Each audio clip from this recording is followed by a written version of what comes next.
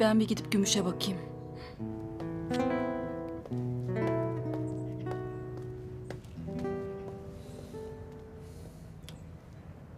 Toparlanır, toparlanır. Güçlü kızdır Gümüş. Bunun da üstesinden gelmeyi bilecektir. Çok sarsıldı. Tabii sakladığı için de çok pişman. Onlar genç. Bu son şansları değil ki. Şu anda Gümüş'ün bunu anlaması o kadar zor ki.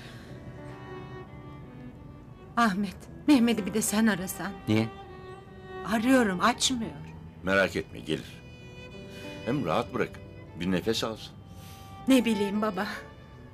Yine eski günlere dönmekten, Mehmet'i yine öyle görmekten korkuyorum. Elimde değil, annelik işte. Aklıma kötü kötü şeyler geliyor. O günler geride kaldı Şeref. Bunu da atlatacaklar. Yenge. Bir bakar mısın? Ne oldu Gülsüm? Şey, Gümüş Sıla diye birini sayıklıyor da. Uyandı mı? Yok uyuyor ama bir gel.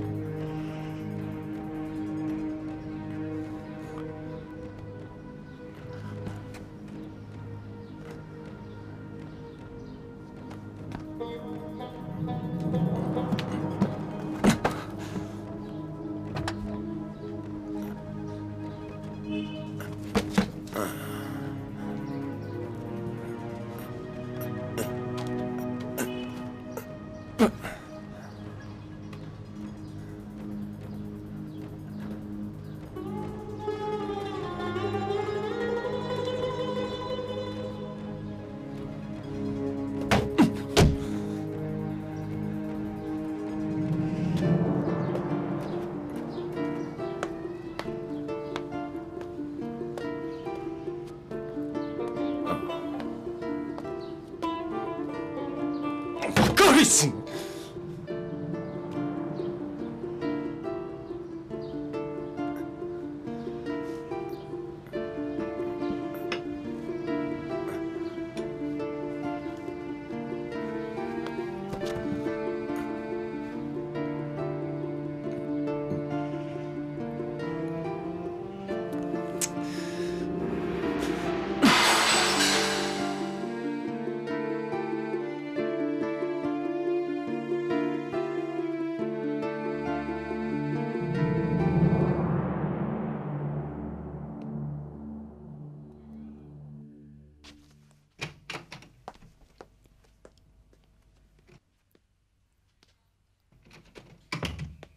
Gümüş, iyi misin? İyi. Al kızım, iç şunu. Teşekkür ederim anne.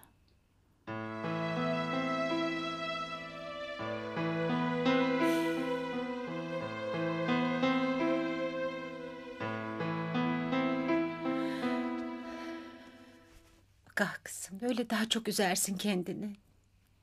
Değil mi ama?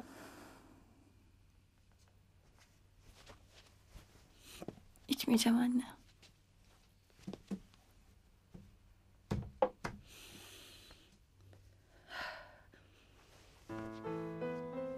Mehmet doğmadan önce, işte Pınar'ın doğumundan iki yıl önce, dolu dolu üç buçuk aylık hamileydim.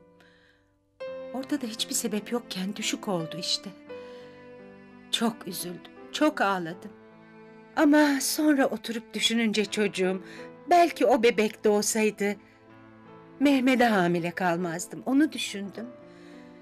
Her işte bir hayır vardır. Biraz da olumlu tarafından bakmak lazım. Alnımıza yazılan neyse o olur. Ama sen böyle üzülüp başkalarını da üzüyorsun. Bak Mehmet saatlerdir ortalarda yok. Arıyoruz, telefonunu da açmıyor. E bir de onu düşün. Bu senin için ilk ama o ikinci kez böyle bir şey yaşıyor. Onu da anlaman lazım. Gerçi biraz da suç sende. Ben sana artık uzatmayalım dedim. Ben dediğim zaman söyleyecektin. Şimdi ikiniz de bu halde olmayacaktınız. Neyse olan oldu. Bir şey olursa seslenin. Dua edelim de Mehmet de sağ salim gelsin bir an önce.